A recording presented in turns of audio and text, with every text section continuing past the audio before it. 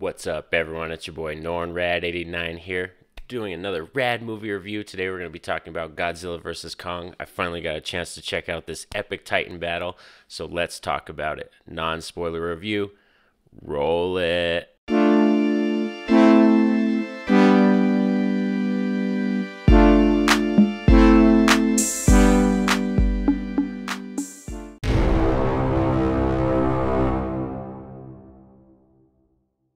So, Kong versus Godzilla, an epic titan battle of two of the greatest monsters we've ever seen in cinema history. So, let's get down to talking about the positives of this film.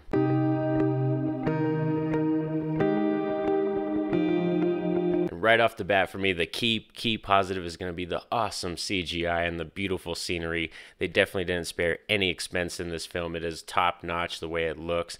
Kong and Godzilla, their graphics are amazing, and we get a lot of time of them battling in different locations.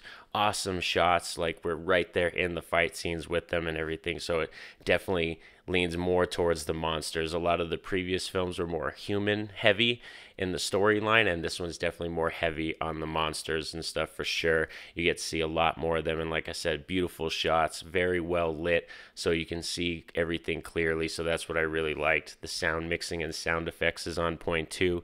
Very loud, in your face, just boom, smashing action. So that's why it's definitely one of those films that's going to keep your eyes on the screen because it's got so much bright imagery, so many cool shots and action sequences, and all the monsters get their awesome hero shots. You know what I mean? That you really want. So that's why I really, I really dug that for sure also just just the vibe of the film it's kind of really like this cool vibe of just something so unrealistic and unfathomable but you still like want to believe it and want to imagine that this could be possible you know these two crazy monsters fighting in our world and everything. So that was really cool. I like all those aspects about it. And like i said adam wingard really did good on kind of acknowledging a lot of the problems that they had in the previous films and like you know kind of sidelined the humans in this one. Like that could be a problem for some people but the storyline and the sideline kind of takes the bench seat to the monsters who are the key stars in this film and the main main part of it.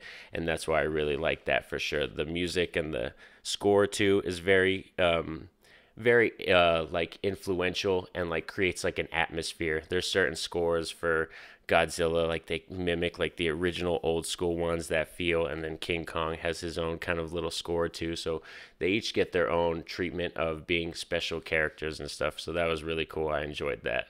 So let's get down to talking about the negatives of this film.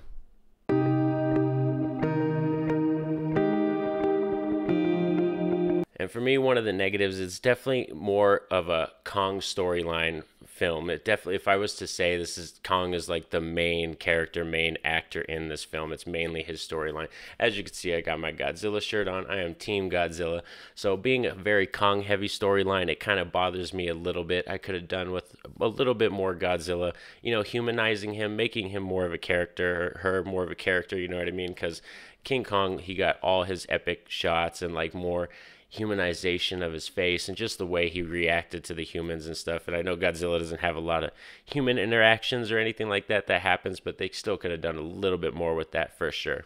Also, the length, it's under two hours, and I could have done with the two hour and a half film of them duking it out with some crazy storyline stuff and battling and everything because I just sat down. Ugh, I just sat down and enjoyed the Snyder cut, which was four hours. So I definitely could have done a little bit more time of watching these monsters fight each other. Like I said, it's very fast paced, and that kind of bothered me because it kind of jumped from point A to point B to point C really fast, and I could have done, like I said, with a little more connection, a little more storyline. It kind of felt like some of it was just conveniences that they just had to write in because they wanted it to go really fast and speed up and stuff. So that was kind of an issue for me.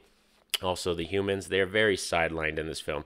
We got Millie Bobby Brown and Alexander Skarsgård in this. Some amazing actors all across the board, but they're very underutilized. Their kind of scenes are just there to deliver lines or exposition or get us to the next scene. Like, they're not really engaging emotional scenes. It's not going to pull you in like that. This is more of a visual feast for your eyes. So, definitely, those things are kind of negatives for sure, is completing it to being a whole awesome piece of cinema. But action, monsters, all on point. All over the place, battling it out, duking it out.